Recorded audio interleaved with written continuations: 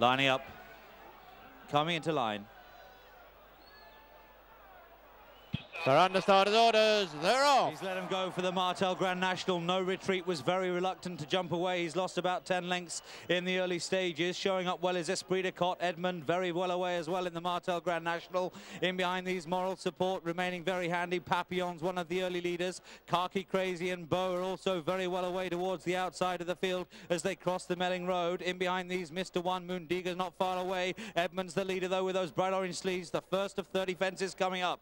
And Edmond comes towards the first fence. He's over it safely from Unsinkable Boxer in second place towards his outside as they head on down towards number two. Exit swinger towards the back of the field. Spanish Main is a faller at the first.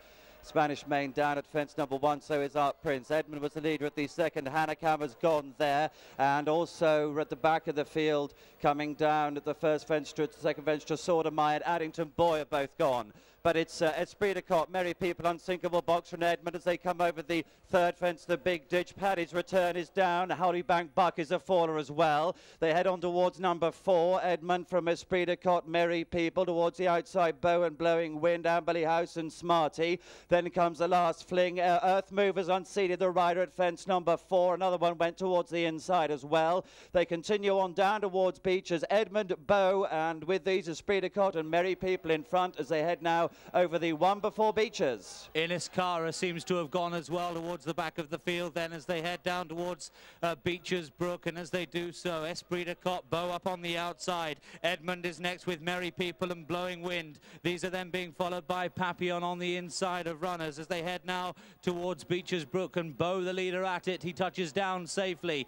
All the leaders going safely over Becher's Brook as they now take it and head round towards Foinaven uh, uh, further back, looked like Northern Starlight could have gone at Becher's. Uh, his jockey's up on his feet okay. Meanwhile, the Foinaven fence is taken and Merry People's out the side door there. He was in third place at the time. A dreadful blunder from him. He's out of the contest. Now they head towards the canal turn and Carl Llewellyn, a great Grand National record, leads on Beau by two lengths to Edmond. Blowing wind, all three travelling very wide and now cutting in. Brave Highlander is next in the field. After these, Amberleigh House was taken out by a loose horse Oh, there's a pile up at the canal turn there. Lots of them coming to grief there, but Beau is left clear of the field as they head now towards Valentine's. Edmond's up on the outside. Blowing Wind is next. Smarty getting a bit closer now. Unsinkable Boxer is next. Mr. One is a faller at Valentine's Brook as well. And now they head towards the next plain fence. Beau and Edmond, the leaders. And Beau and Edmond together. The last fling was a faller earlier in the race as well. Blowing wind over that in third position towards the inside. Unsinkable Boxer next in the field as they head down towards the next one. And the orange sleeve jacket of Edmond and Beau, these two, the front two in the Martell National as they head uh, over the next plain fence behind those. Uh, towards the inside is Blowing Wind. The field trailing over it now. Supreme Charm is just about the back marker as they head on towards fence number 12 and the run back towards the home straight the first time Edmond still in front. Esprit de Cotte's another faller earlier in the race. He's out of the contest. Uh, there aren't too many more going then as they head towards the racecourse proper for the second time. Still well over a circuit to go. Edmond is now the leader in the Martell Grand National. He leads by two lengths to Beau in second place. Blowing Wind and Smarty are next. Papillon is next in the field, followed by Noble Lord. These in turn are followed by Unsinkable Boxer. Listen, Timmy and Moondigua still going pretty well, as is Red Marauder. And behind Red Marauder is Brave Highlander. Supreme Charm is still going after these, but not a lot else left in the Martell Grand National as they now head towards the 13th fence. And Edmond, the leader by four lengths here to Beau in second place. Smarty is next in the field in third place. He's traveling really strongly. Papillon likewise, blowing wind towards the inside of the field. And now they come in towards the wings of the 13th fence. This will take them towards the next. And then, of course, the chair is number 15. It's Edmond, the leader, with those bright orange sleeves. He clouted it though. A bad mistake. Further back, Noble Lord is a faller. Noble Lord falls at the 13th. He and the jockey seem to be none the worse as they now head down towards the 14th fence. Only a handful still going in the Martell Grand National. It's Edmond with Beau alongside. Smarty jumped towards the lead as well. These three lead from Blowing Wind in fourth place. In fifth is Papillon. Red Marauder in sixth place. Then Brave Highlander seven. Unsinkable Boxer in eighth. Then is Moondigua in ninth ninth place. There's a gap after these to Listen Timmy, Supreme Charm. Clearly, Mely Moss is out of the race as well. He probably went in the melee earlier. Edmond's a faller at the chair. Moondigua also is out of it as well. Listen Timmy almost went. Supreme Charm has gone. Listen Timmy's going to be pulled up after that mistake.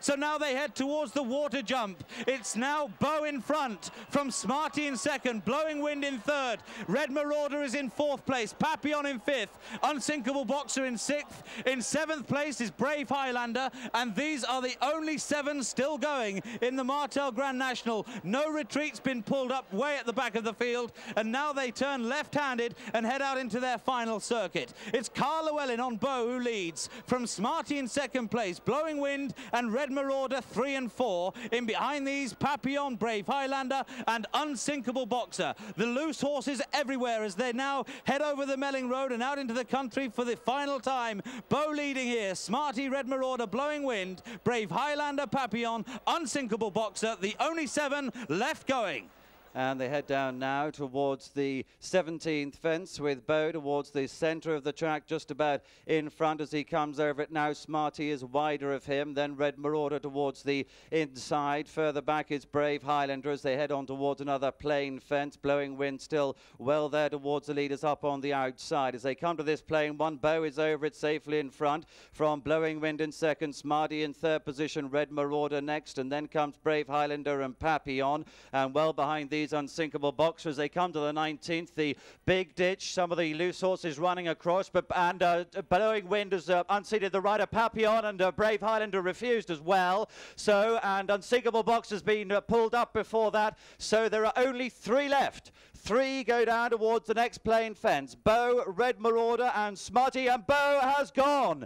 Beau is a faller there, so it's Red Marauder and Smarty. They are the only two horses left in this year's Martell Grand National. They head down now with uh, the one fence before Becher's Brook to take. Smarty towards the outside of the red jacket of Red Marauder, and Red Marauder's over that just in front by about a length to Smarty as they head down towards Becher's Brook.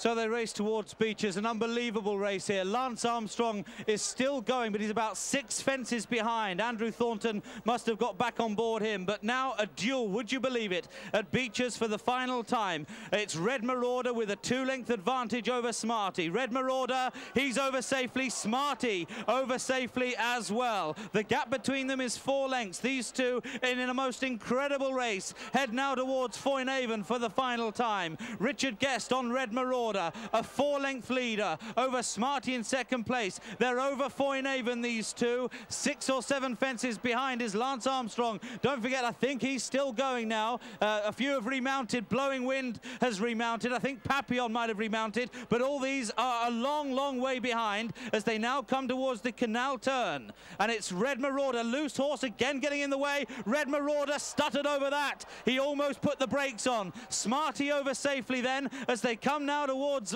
Valentine's for the final time. It's still Red Marauder and Smarty. Red Marauder He's up and over safely from Smarty. There may only be two left in it, but there's nothing to choose between them as they head down the side of the track for home. So the race itself between Red Marauder and Smarty, but both Blowing Wind and Papillon are continuing. They're currently on their way down towards uh, Becher's Brook, and uh, those two racing out third and fourth places. But for the big prize of the Martell Grand National, Red Marauder and Smarty are level with each other, keeping each other company as they make this long journey back towards home at the uh, next fence there. And uh, Smarty has moved on by a couple of lengths now to Red Marauder. Further back in the field. Uh, Blowing Wind and Papillon are approaching the Foinaven fence, but as the leaders head back towards home, Red Marauder and Smarty, the two, who will fight out the finish. It's Smarty who's gone about four lengths clear then as they race towards the racetrack proper now with just a couple of fences left to take in the Martell Grand National Handicap Chase. This is Mark Pitman's first runner in the race, Smarty. He's got a lead of about four lengths over Richard Guest and Red Marauder in second place. Richard Guest was runner-up in this race in 1992 on Romany King and he's not out of it by any means. The two of them are hunting round towards the second last then. Don't forget those two about five fences behind. Uh, blowing wind And Papillon still going for place money at the moment. Lance Armstrong maybe as well, but now Red Marauder has poached a lead on Smarty. He races down towards the second last. Red Marauder about five lengths clear of Smarty. I wonder if Timmy Murphy can conjure anything out of Smarty now as Red Marauder, who was a faller at Becher's earlier on, is the leader here and going about 10 lengths clear. Uh, Red Marauder, a former, he was a faller at Becher's in another year, but Red Marauder into the second last. He's a tired horse, but he's over safely there. His lead is about 15 lengths over Smarty in second place. Blowing Winds in third, away behind. Papillon still going as well. But now the final fence. Red Marauder is clear in the Martell Grand National. The last, he's up and over safely. Red Marauder, he's getting a great cheer. What a moment this is for owner trainer Norman Mason and Richard Guest. They're now about 30 lengths clear. Smarty has got over the last as well. He's run a fabulous race in second place, but he's clearly got no more to give. The other two aren't even in sight. Papillon and Blowing Wind hunting round for third place honours only, but well inside the final furlong. It is Red Marauder who is going to win a most astonishing Martell Grand National. A first success in the race will be Richard Guest, second in 92. How he will relish this moment, the final few yards, and Red Marauder is the winner of the Martell Grand National. Smarty has virtually stopped to a walk, but he will get a mighty cheer in second place.